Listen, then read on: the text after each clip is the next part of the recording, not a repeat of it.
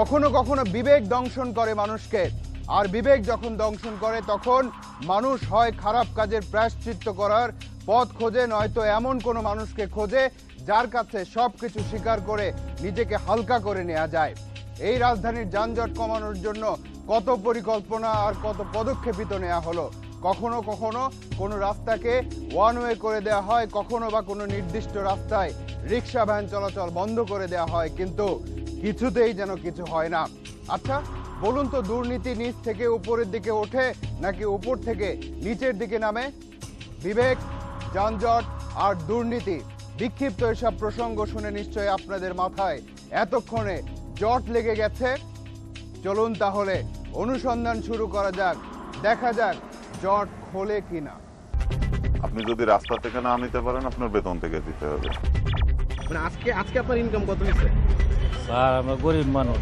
আমরা তো সৎভাবে ডিউটি করতে চাই কিন্তু আমাদের তো হাত পা বান্ধা শিকল। সবাই দেখে যে আমরা টাকা নিই কিন্তু এই টাকাটা কিন্তু আমরা খাইতে পারি না। আপনি যে টাকা নেন সেটা কি টাকাই নেই না কিসের বাদ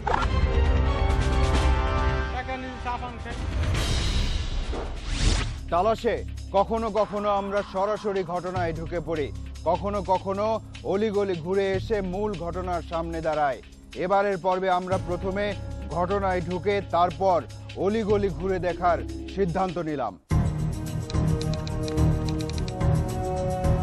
উত্তরার জসিমউদ্দিন রোড এসে মিলেছে ঢাকা ময়মনসিংহ সড়কে। এই প্রধান সড়কের রিক্সা ভ্যান প্রবেশ নিষেধ। এজন্য একজন আনসার সদস্য দায়িত্বে আছে।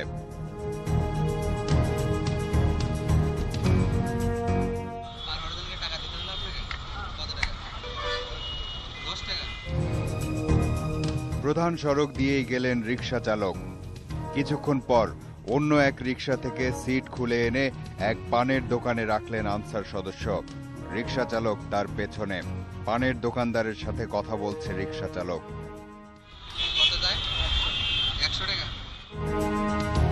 কিছুক্ষণ পর ওই আনসার সদস্যকে খুশি করতে পারলেন রিক্সা চালক। পানের দোকানদারও দিয়ে দিলেন রিক্সার সিট।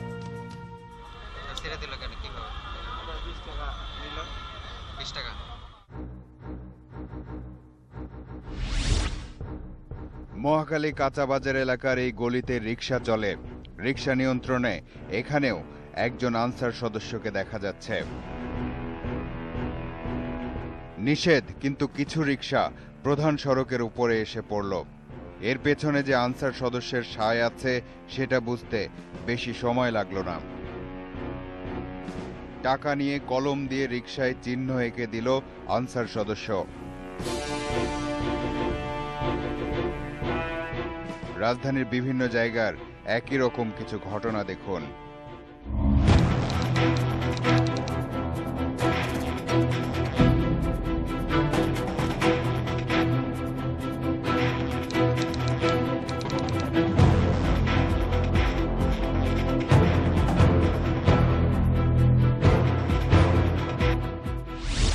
পাঁচ টাকা, দশ টাকার হিসাব যদি করেন, তবে এমন ঘটনাকে খুব সহজেই এড়িয়ে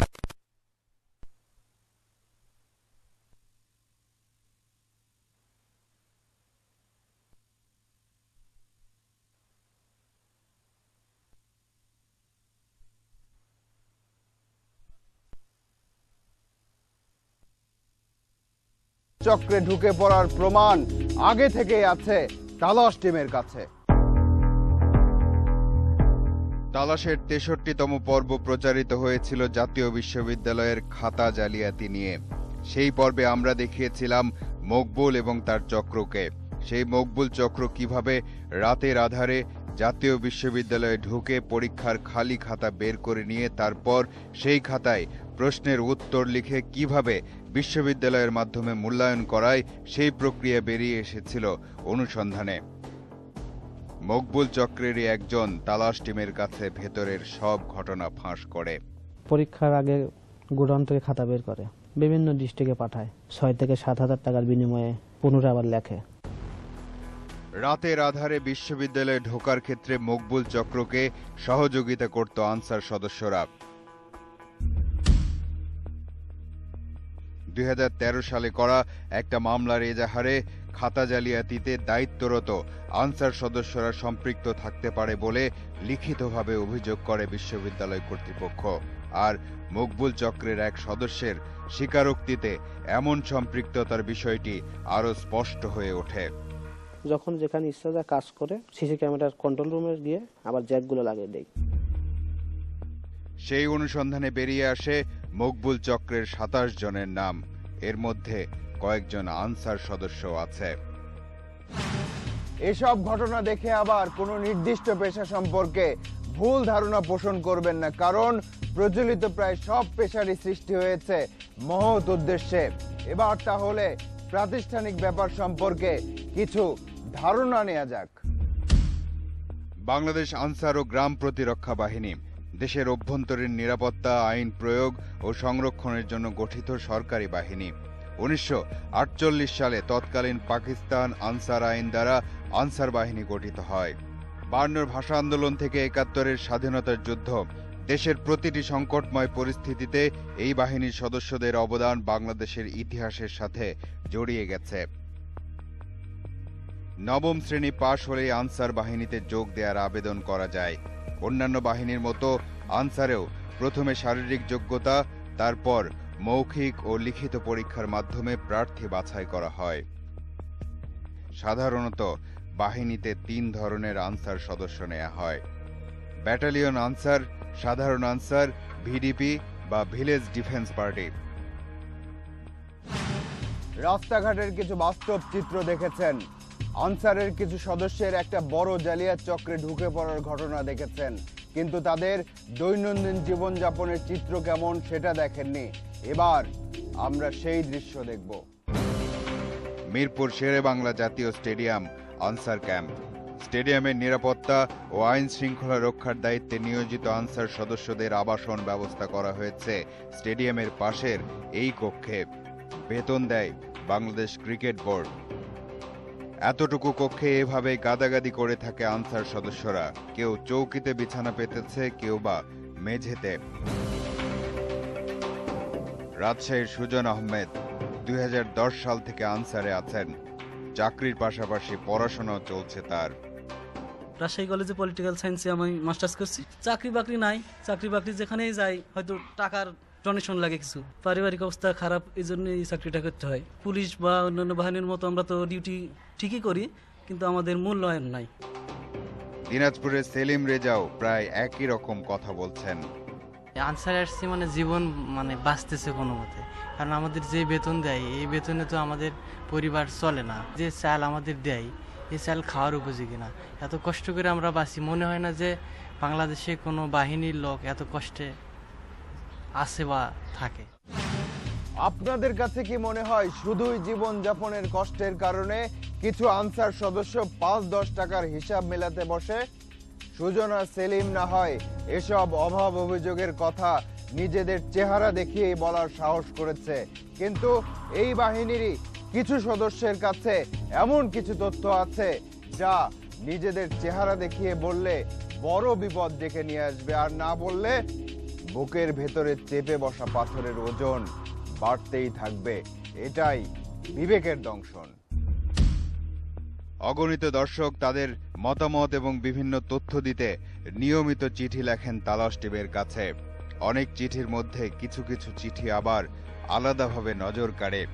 এবার সেই আলাদাভাবে নজর কাড়া একটা চিঠির কিছু অংশ শুনুন। আসসালামু আলাইকুম। আমি বাংলাদেশ আনসার ও গ্রাম প্রতিরক্ষা বাহিনীর একজন সদস্য। পদবি, সাধারণ আনসার।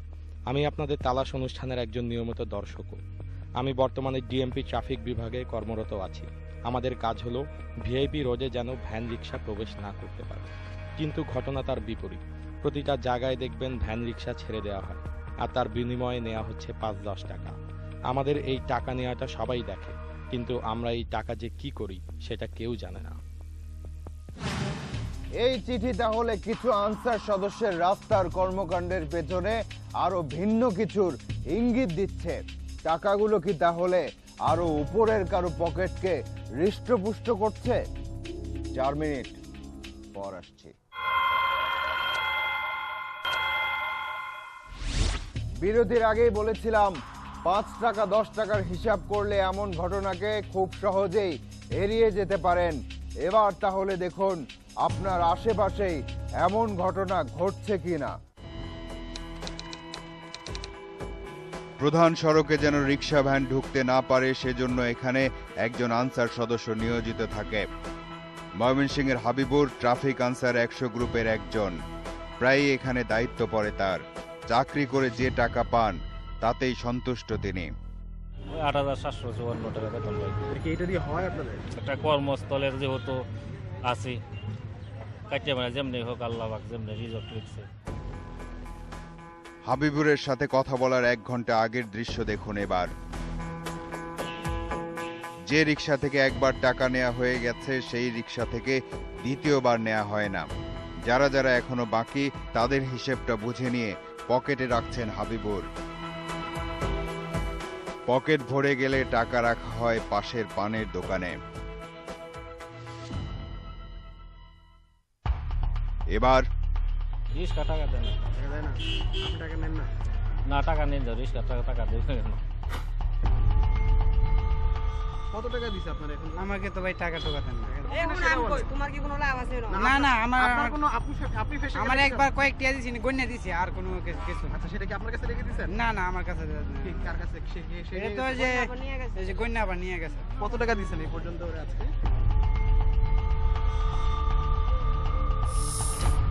কি ভাই আপনার কাছে টাকা দিছে না? আমার তিনশো টাকা দিয়েছে আমি গন্যা দিছি বাস এতটুকু। তিনশো টাকা দিছে? জি। তিনশো টাকা দিছেন উঠছে কত আছে? এই না না দশ টাকা পাঁচ টাকা দেয় যেটা রোড ডিভাইডারে বসে আছেন একজন আনসার সদস্য। সাইনবোর্ডে লেখা আছে রিক্সা প্রবেশ নিষেধ। দূর থেকে নজর রেখেছে তালাশের ক্যামেরা। একজন ভ্যান চালক এলো তার কাছে।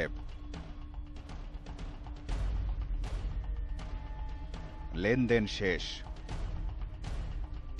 তারপর ভ্যানটির যাওয়ার পথ সুগম হলো। টাকায় নিয়ম ভাঙার একমাত্র উপায় এখানে। তারপর তালাশের ক্যামেরা সরাসরি গেল তার কাছে। কত টাকা কামালেন আজকে? কই টাকা কামাইছে নিজের টাকা। তো খুচরা টাকা? হ্যাঁ। যে আপনি যে টাকা নিচ্ছেন? কই আমি কোনো রিক্সাওয়ালার থেকে টাকা নিই না ভ্যান গাড়ি থেকে নিছেন মুরগির ভ্যান গেল সেটা থেকে নেন নাই? কখন? এই যে একটু আগে? না। নেই তো অনেক জায়গার থেকে নেয়। এই যে রাস্তায় যাইতে গেলে পাঁচ দশ টাকা নিয়ে আবার ছেড়ে দেয়। টাকা নিয়ে চা পান খাই। কত টাকা ওঠে? টাকা কোনো ওর কোনো ই আছে নাকি? আমি কত টাকা উঠাই? এবার টাকার পরিমাণ হিসাব করার চেষ্টা করা যাক। কেন রিক্সা ভ্যান বা সিএনজি অটো রিক্সা চালকদের কাছ থেকে টাকা নিতে হয়? আনসার সদস্যদের সে প্রশ্নের উত্তর জানার চেষ্টা করা যাক। আর টাকাগুলো কোন পকেট থেকে কোন পকেটে যায়? সে প্রশ্ন নিশ্চয় আছে আপনাদের মাথায়।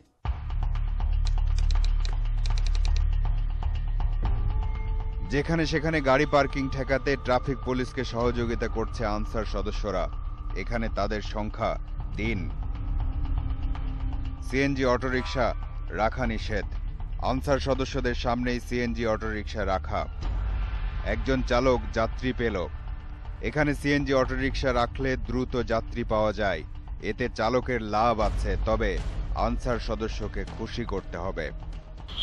দশ টাকা দিয়ে গেছে? মানে এখানে লোক উঠালে দশ টাকা দিতে হবে। তালাশের ক্যামেরা দূর থেকে নজর রাখল এসব ঘটনার দিকে। তারপর কথা হলো। আপনারা ভুল স্বীকার করলে আমার ক্ষমা করবেন এবারকার মধ্যে আর কোনো দিন যদি হয় তারপর আমার হ্যাঁ, কথা বলব। তারপর আসল ঘটনা বললেন মশিউর। সাড়ে সাত হাজার টাকা বেতন পাই। ওইটা খেলে একটা টাকাও বাড়ি যায় না। এটা দশ বিশ পঞ্চাশ একশো টাকা পাই। এটা দিয়ে চলি। জসীমুদ্দিনের সপ্তাহে বিট কত? ওটা আটশো টাকা না সপ্তাহ এই আগে কোন গ্রুপে ছিলেন? আগে এখন গ্রুপে ছিল ওখানে ওই এমন ওই যা দশ বিশ পঞ্চাশ একশো ওই কারণ বাজারে। আমার স্যারের সাথে একটু কথার গন্ডগোল হয়েছে আমাকে বদলি করি গন্ডগোল বলতে কি ওই বিট দেওয়ার কম বেশিতে আমার সাথে গন্ডগোল হয়েছে। আমি বলছি ওই জন্য আমি নিজে বদলি হয়ে আসছি স্যারের। বদলি হইতে গিয়ে টাকা দিতে হয়?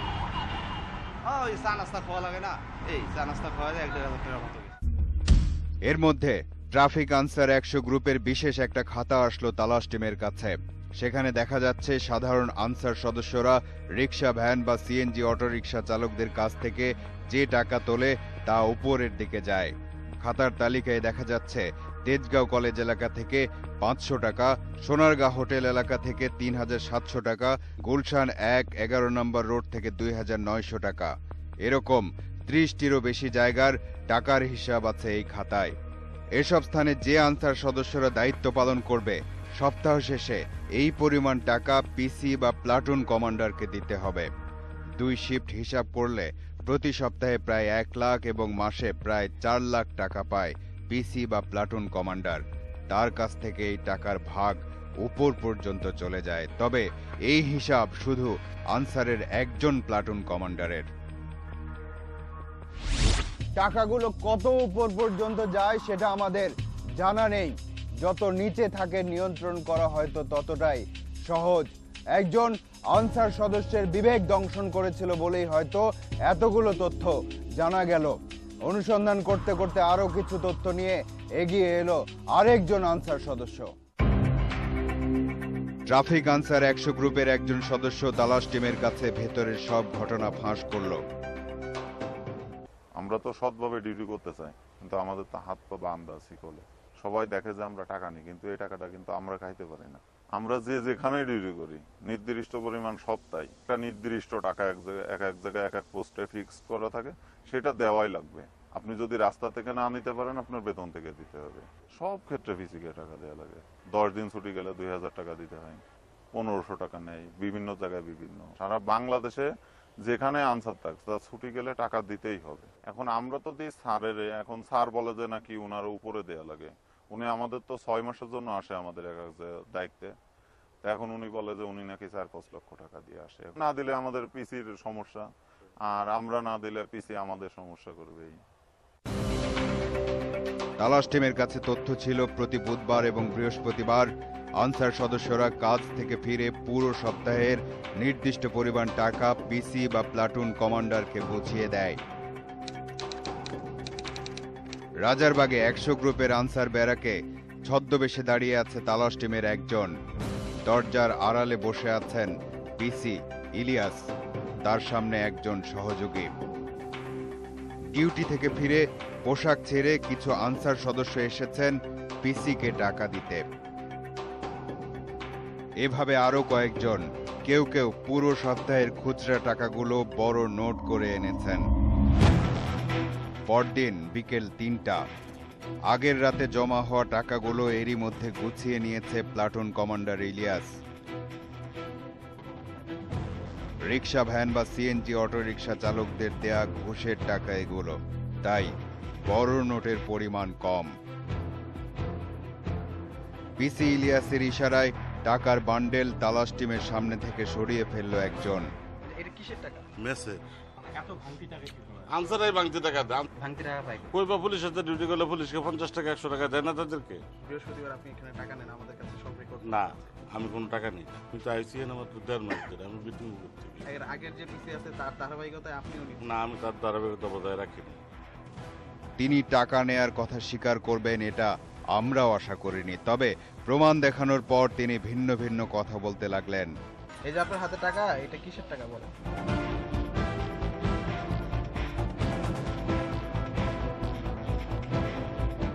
কালকে তারা মেসের কয়েকজন মেসের টাকা দিছে। তো এক হাজার টাকা করে তিনটা চারটা নোট কিসের? না তিনটা চারটা নোট দিছে। আপনি দেখেন আপনার দেখছি। ছবি আছে আমার আমার দুজনে দুই হাজার টাকা করে টাকা দিছে তারা কোনো বিট নাই।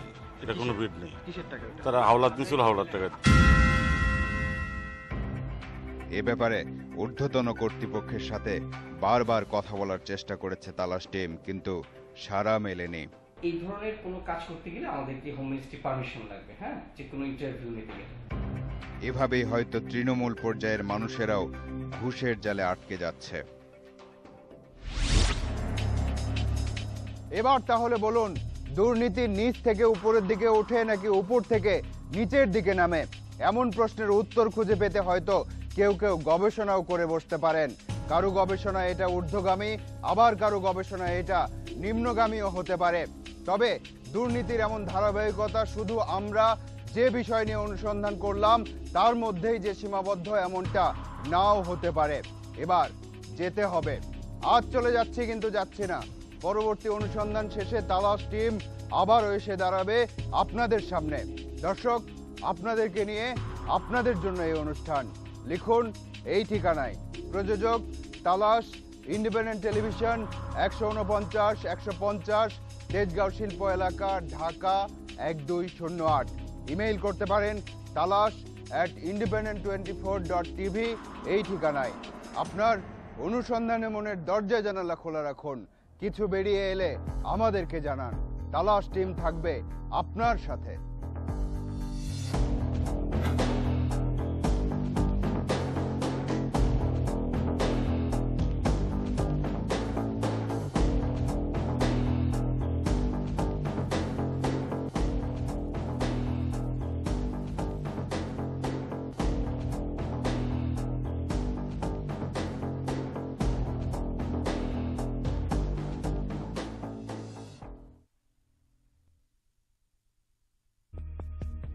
সাধারণত বাহিনীতে তিন ধরনের আনসার সদস্য নেওয়া হয়। ব্যাটালিয়ন আনসার, সাধারণ আনসার, ভিডিপি বা ভিলেজ ডিফেন্স পার্টি। রাস্তাঘাটের কিছু বাস্তব চিত্র দেখেছেন। আনসারের কিছু সদস্যের একটা বড় জালিয়াত চক্রে ঢুকে পড়ার ঘটনা দেখেছেন। কিন্তু তাদের দৈনন্দিন জীবনযাপনের চিত্র কেমন সেটা দেখেননি। এবার আমরা সেই দৃশ্য দেখব। মিরপুর শেরে বাংলা জাতীয় স্টেডিয়াম, আনসার ক্যাম্প। স্টেডিয়ামের নিরাপত্তা ও আইন শৃঙ্খলা রক্ষার দায়িত্বে নিয়োজিত আনসার সদস্যদের আবাসন ব্যবস্থা করা হয়েছে স্টেডিয়ামের পাশের এই কক্ষে।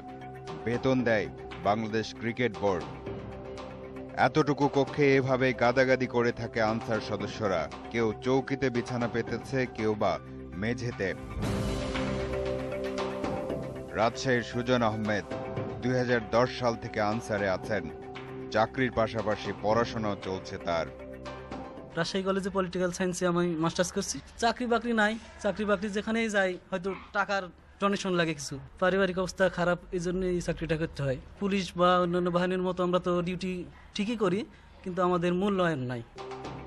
দিনাজপুরের সেলিম রেজাও প্রায় একই রকম কথা বলছেন। আনসার আসছে মানে জীবন মানে বাঁচতেছে কোনো মতে। কারণ আমাদের যে বেতন দেয়, এই বেতনে তো আমাদের পরিবার চলে না। যে চাল আমাদের দেয়, এই চাল খাওয়ার উপযোগী না। এত কষ্ট করে আমরা বাঁচি, মনে হয় না যে বাংলাদেশে কোনো বাহিনীর লোক এত কষ্টে আছে বা থাকে। আপনাদের কাছে কি মনে হয়, শুধুই জীবন যাপনের কষ্টের কারণে কিছু আনসার সদস্য পাঁচ দশ টাকার হিসাব মেলাতে বসে?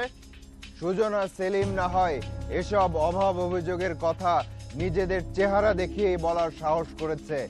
কিন্তু এই বাহিনীরই কিছু সদস্যের কাছে এমন কিছু তথ্য আছে, যা নিজেদের চেহারা দেখিয়ে বললে বড় বিপদ ডেকে নিয়ে আসবে আর না বললে বুকের ভেতরে চেপে বসা পাথরের ওজন বাড়তেই থাকবে। এটাই বিবেকের দংশন। অগণিত দর্শক তাদের মতামত এবং বিভিন্ন তথ্য দিতে নিয়মিত চিঠি লেখেন তালাশ টিমের কাছে। অনেক চিঠির মধ্যে কিছু কিছু চিঠি আবার আলাদাভাবে নজর কাড়ে। এবার সেই আলাদাভাবে নজর কাড়া একটা চিঠির কিছু অংশ শুনুন। আসসালামু আলাইকুম। আমি বাংলাদেশ আনসার ও গ্রাম প্রতিরক্ষা বাহিনীর একজন সদস্য, পদবি সাধারণ আনসার। আমি আপনাদের তালাশ অনুষ্ঠানের একজন নিয়মিত দর্শকও আমি বর্তমানে ডিএমপি ট্রাফিক বিভাগে কর্মরত আছি। আমাদের কাজ হলো ভিআইপি রোডে যেন ভ্যান রিক্সা প্রবেশ না করতে পারে। কিন্তু ঘটনা তার বিপরীত। প্রতিটা জায়গায় দেখবেন ভ্যান রিক্সা ছেড়ে দেওয়া হয়, আর তার বিনিময়ে নেওয়া হচ্ছে পাঁচ দশ টাকা। আমাদের এই টাকা নেওয়াটা সবাই দেখে, কিন্তু আমরা এই টাকা যে কি করি, সেটা কেউ জানে না। এই চিঠি তাহলে কিছু আনসার সদস্যের রাস্তার কর্মকাণ্ডের পেছনে আরও ভিন্ন কিছুর ইঙ্গিত দিচ্ছে। টাকাগুলো কি তাহলে আরও উপরের কারও পকেটকে হৃষ্টপুষ্ট করছে? চার মিনিট, পর আসছি।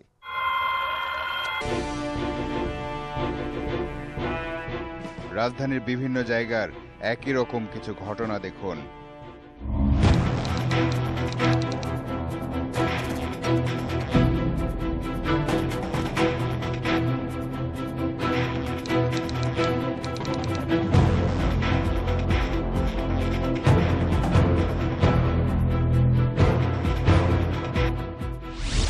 পাঁচ টাকা, দশ টাকার হিসাব যদি করেন, তবে এমন ঘটনাকে খুব সহজেই এড়িয়ে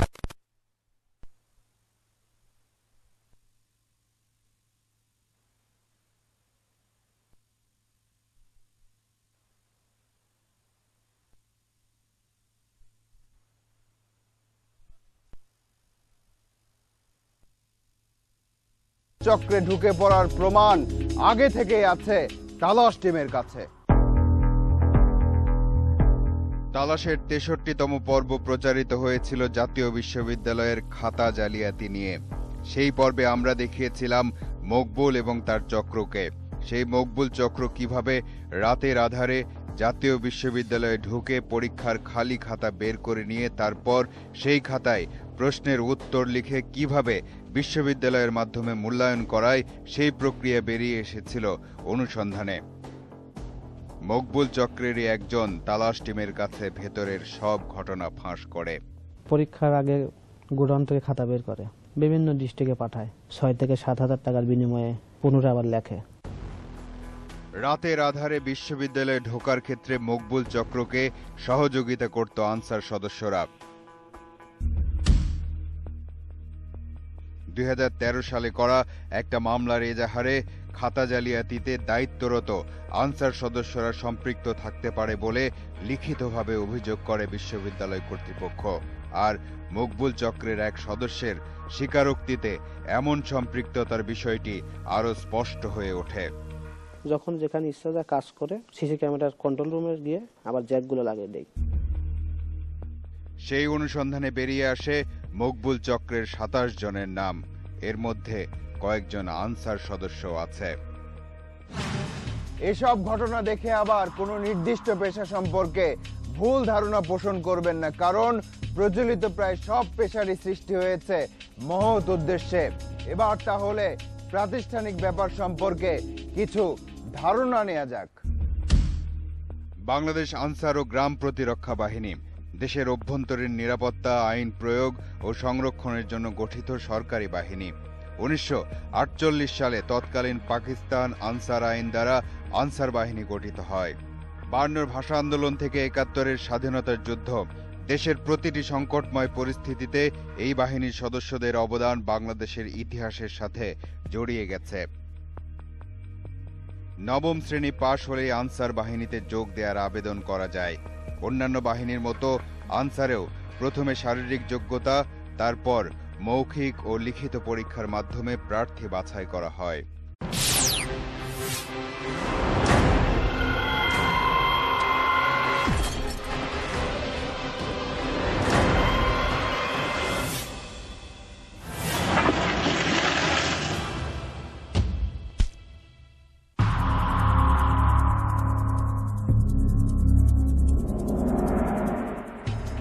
কখনো কখনো বিবেক দংশন করে মানুষকে।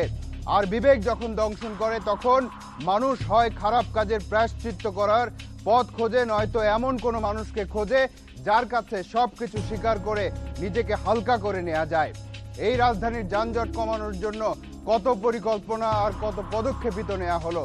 কখনো কখনো কোনো রাস্তাকে ওয়ান ওয়ে করে দেওয়া হয়, কখনো বা কোনো নির্দিষ্ট রাস্তায় রিক্সা, ভ্যান চলাচল বন্ধ করে দেওয়া হয়, কিন্তু কিছুতেই যেন কিছু হয় না। আচ্ছা বলুন তো দুর্নীতি নিচ থেকে উপরের দিকে ওঠে নাকি উপর থেকে নিচের দিকে নামে? বিবেক যানজট আর দুর্নীতি। বিক্ষিপ্ত এসব প্রসঙ্গ শুনে নিশ্চয়ই আপনাদের মাথায় এতক্ষণে জট লেগে গেছে। চলুন তাহলে অনুসন্ধান শুরু করা যাক। দেখা যাক জট খোলে কিনা। আপনি যদি রাস্তা থেকে না নিতে পারেন আপনার বেতন থেকে দিতে হবে। মানে আজকে আজকে আপনার ইনকাম কত হয়েছে? স্যার আমরা গরিব মানুষ। আমরা তো সৎভাবে ডিউটি করতে চাই কিন্তু আমাদের তো হাত পা বান্ধা শিকল। সবাই দেখে যে আমরা টাকা নিই কিন্তু এই টাকাটা কিন্তু আমরা খাইতে পারি না।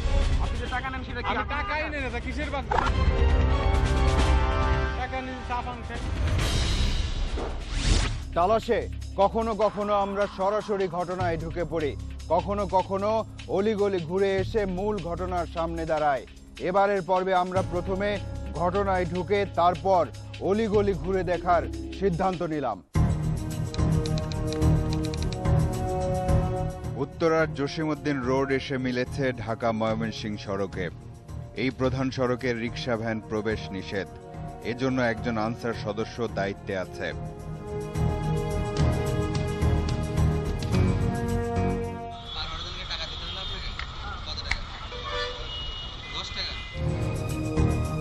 প্রধান সড়ক দিয়েই গেলেন রিক্সা চালক। কিছুক্ষণ পর অন্য এক রিক্সা থেকে সিট খুলে এনে এক পানের দোকানে রাখলেন আনসার সদস্য। রিক্সা চালক তার পেছনে। পানের দোকানদারের সাথে কথা বলছে রিক্সা চালক।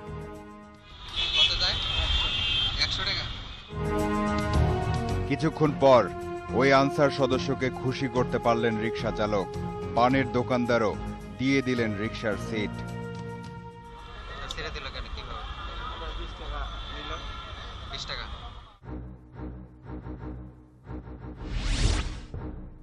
মহাখালী কাঁচাবাজার এলাকার এই গলিতে রিক্সা চলে।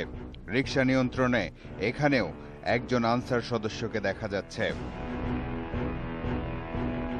নিষেধ, কিন্তু কিছু রিক্সা প্রধান সড়কের উপরে এসে পড়ল।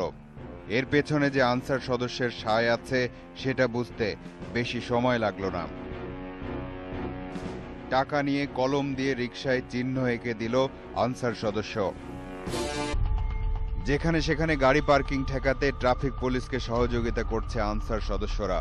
এখানে তাদের সংখ্যা তিন। সিএনজি অটোরিকশা রাখা নিষেধ। আনসার সদস্যদের সামনেই সিএনজি অটোরিকশা রাখা। একজন চালক যাত্রী পেল।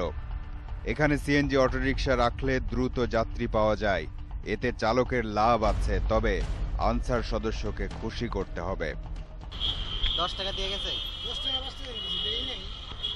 মানে এখানে লোক উঠাইলে দশ টাকা দিতে হবে। তালাশের ক্যামেরা দূর থেকে নজর রাখল এসব ঘটনার দিকে। তারপর কথা হলো। আপনারা ভুল স্বীকার করলাম আমার ক্ষমা করবেন এইবারের মধ্যে আর কোনো দিন যদি হয় তারপর আমার আমি কথা বলব। তারপর আসল ঘটনা বললেন মশিউর। সাড়ে সাত হাজার টাকা বেতন পাই। ওইটা খেলে একটা টাকাও বাড়ি যায় না। এটা দশ বিশ পঞ্চাশ একশো টাকা পাই। এটা দিয়ে চলি। জসীমুদ্দিনের সপ্তাহে বিট কত মানে আটশো টাকা না সপ্তাহে এই আগে কোন গ্রুপে ছিলেন? আগে এখন গ্রুপে ছিল ওখানে ওই এমন ওই যা দশ বিশ পঞ্চাশ ওই কারণ বাজারে। আমার স্যারের সাথে একটু কথার গন্ডগোল হয়েছে আমাকে বদলি করি গন্ডগোল বলতে কি ওই বিট দেওয়ার কম বেশিতে আমার সাথে গন্ডগোল হয়েছে। আমি বলছি ওই জন্য আমি নিজে বদলি হয়ে আসছি স্যারের বদলি হইতে গিয়ে টাকা দিতে হয়? ওই চা নাস্তা খাওয়া লাগে না। এই চা নাস্তা খাওয়া যায় এক দেড় হাজার টাকার মতো এর মধ্যে ট্রাফিক আনসার একশো গ্রুপের বিশেষ একটা খাতা আসলো তালাশ টিমের কাছে। সেখানে দেখা যাচ্ছে সাধারণ আনসার সদস্যরা রিক্সা ভ্যান বা সিএনজি অটোরিকশা চালকদের কাছ থেকে যে টাকা তোলে তা উপরের দিকে যায়। খাতার তালিকায় দেখা যাচ্ছে, তেজগাঁও কলেজ এলাকা থেকে পাঁচশো টাকা, সোনারগাঁ হোটেল এলাকা থেকে তিন হাজার সাতশো টাকা, গুলশান এক, এগারো নম্বর রোড থেকে দুই হাজার নয়শো টাকা। এরকম ত্রিশটিরও বেশি জায়গার টাকার হিসাব আছে এই খাতায়। এসব স্থানে যে আনসার সদস্যরা দায়িত্ব পালন করবে সপ্তাহ শেষে এই পরিমাণ টাকা পিসি বা প্লাটুন কমান্ডারকে দিতে হবে। দুই শিফট হিসাব করলে প্রতি সপ্তাহে প্রায় এক লাখ এবং মাসে প্রায় চার লাখ টাকা পায় পিসি বা প্লাটুন কমান্ডার তার কাছ থেকে এই টাকার ভাগ উপর পর্যন্ত চলে যায়। তবে এই হিসাব শুধু আনসারের একজন প্লাটুন কমান্ডারের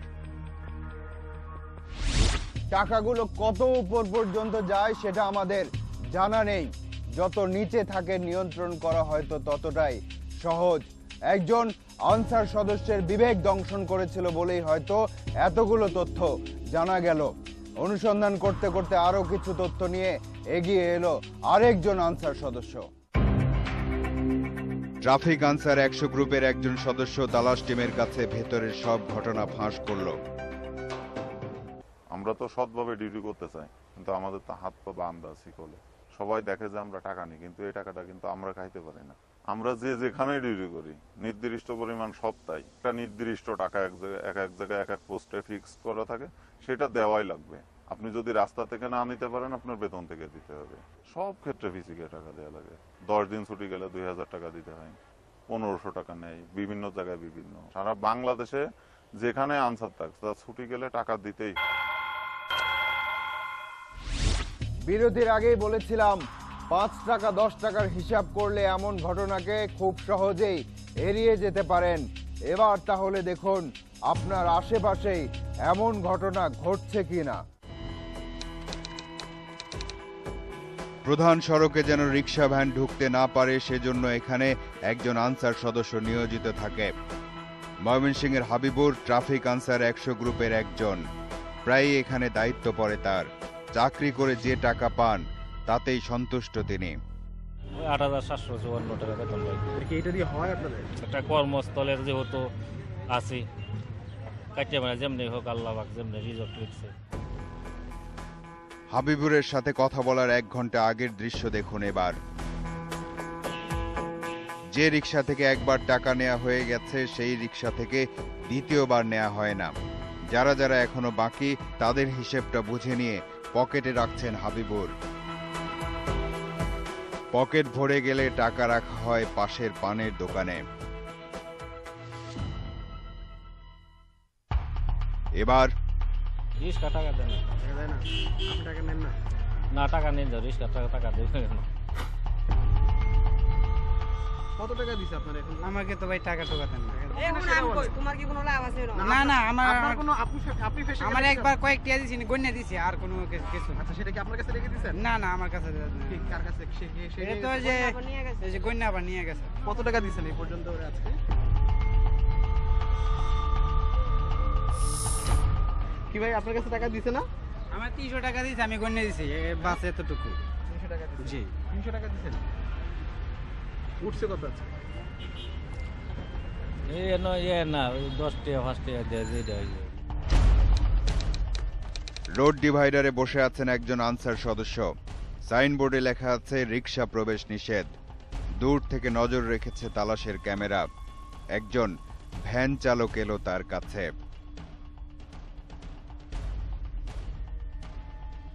লেনদেন শেষ। তারপর ভ্যানটির যাওয়ার পথ সুগম হলো। টাকায় নিয়ম ভাঙার একমাত্র উপায় এখানে। তারপর তালাশের ক্যামেরা সরাসরি গেল তার কাছে। কত টাকা কামালেন আজকে? কো টাকা কামাইছে? নিজের টাকা। তো খুচরা টাকা? হ্যাঁ। যে আপনি যে টাকা নিচ্ছেন? কই আমি কোনো রিক্সাওয়ালার থেকে টাকা নিই না। ভ্যান গাড়ি থেকে নিছেন মুরগির ভ্যান গেল সেটা থেকে নেন নাই? কখন? এই যে একটু আগে। না। নেই তো অনেক জায়গার থেকে নেয়। এই যে যে রাস্তায় যাইতে গেলে পাঁচ দশ টাকা নিয়ে আবার ছেড়ে দেয়। টাকা নিয়ে চা পান খাই। কত টাকা ওঠে? টাকা কোনো ওর কোনো ইয়ে আছে নাকি? আমি কত টাকা উঠাই এবার টাকার পরিমাণ হিসাব করার চেষ্টা করা যাক। কেন রিক্সা ভ্যান বা সিএনজি অটো রিক্সা চালকদের কাছ থেকে টাকা নিতে হয়? আনসার সদস্যদের সে প্রশ্নের উত্তর জানার চেষ্টা করা যাক। আর টাকাগুলো কোন পকেট থেকে কোন পকেটে যায়? সে প্রশ্ন নিশ্চয় আছে আপনাদের মাথায়।